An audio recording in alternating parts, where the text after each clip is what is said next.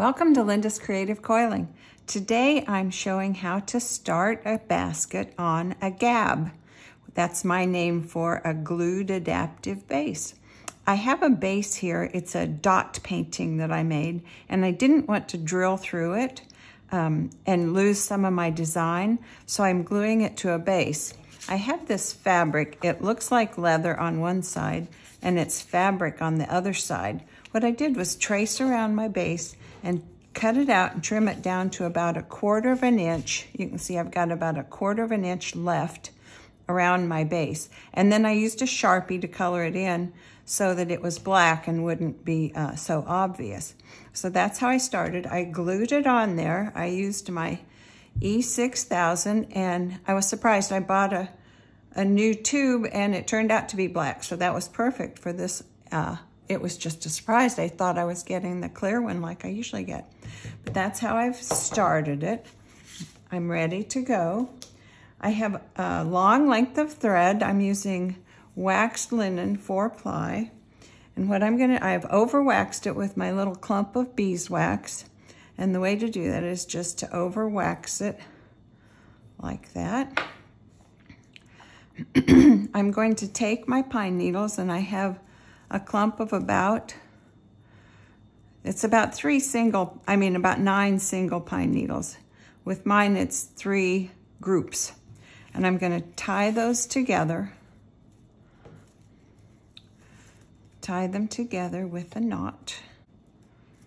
About half an inch or three-fourths of an inch from the ends. I'm gonna tie another knot. So they're really tied.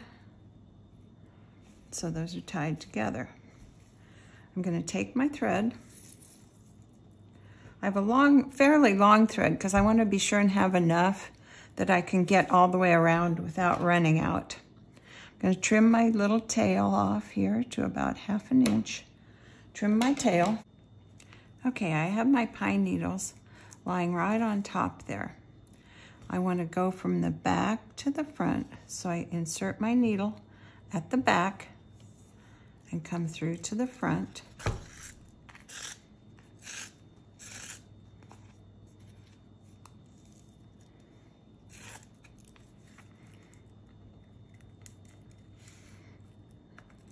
Okay, then I can go over the top, take my next stitch, and I'm gonna make my stitches about 3 eighths of an inch apart. I come from the back, use my pliers, get that through there. My thread's going over the top.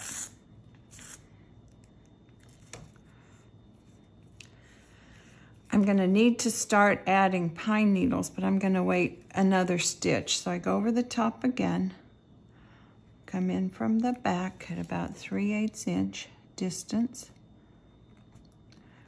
And I'm stitching just so I'm, my, my needle is right up next to my base. My needle's right up next to my base. Pull that out.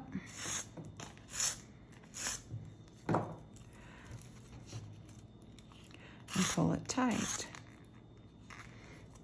Now this uh, fabric will start to pull up and that's what exactly what you want it to do so that it's real tight. What I'm gonna do is just continue adding pine needles and stitch all the way around. And then I'll join it up at the end. So I'm gonna do that and I'll show you how to finish it when I get back around.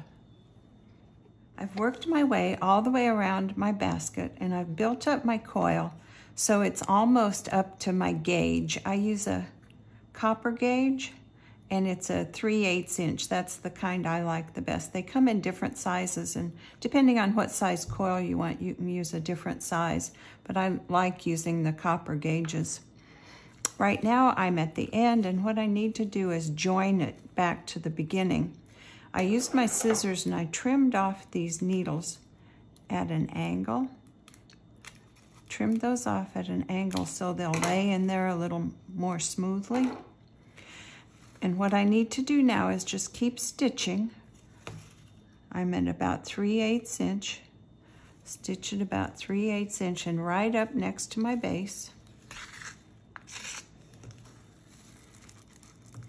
Pull my stitch tight. Pull it very tight. Take another stitch.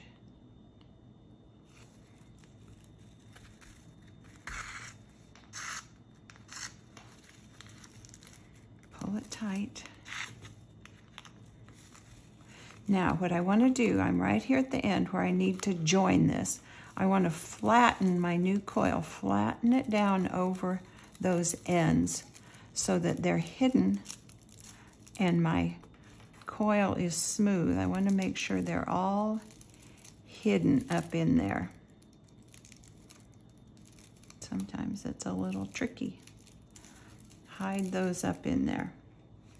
I'm going to take another stitch and I'm flattening that coil down over those ends where I started. Flatten that down I can check and see they're hidden. All right, I'm going to take another stitch. Come up over.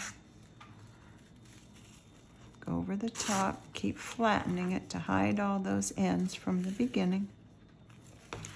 Now I'm back to the beginning. I don't want to continue stitching through my gab. I want to start using my stitches as my base. And I want my rows to go straight out.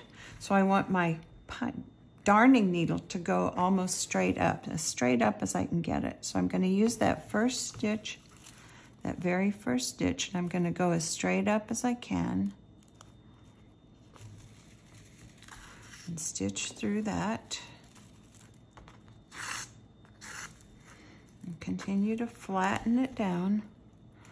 Flatten that across there. take another one. I'm not going back through my gab. I'm using just that little thread to come up and make a stitch. Just using that thread.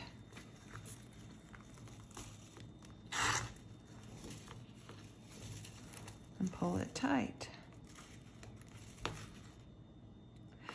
Now I can keep stitching. My rows can go out or up or whatever direction you want your basket to go. And that's a gab, a glued adaptive base. It's good to use anytime. Like on this dot painting, I didn't want to drill through it. Or if you have a cabochon or some kind of stone or jewelry medallion that you can't drill through, you can glue it onto a base and start your basket that way. It works really well. I hope you like this technique and will come back and visit me again soon. Thanks. Hi, I'm Linda. Thanks for watching my video. I hope you liked it. Uh, if you would like to subscribe to my channel, you can click the subscribe button and ring the bell, and that way you'll be notified next time I post a new video. Hope to see you soon. Thanks a lot.